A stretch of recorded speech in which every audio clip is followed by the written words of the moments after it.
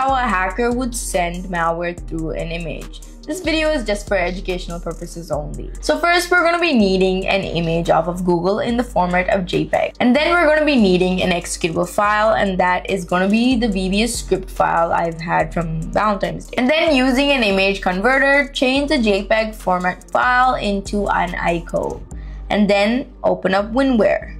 Okay, right now in desktop, we select all three of these and then click on add. And here change the name into archive name. I'm going to be changing this into love love.jpg then click on create sfx archive and then compression method click on best and then click on advanced and sfx options and then go to update and then select extract and update files and then click on overwrite all files and then go to logo and icon then click on browse and select the ICO file.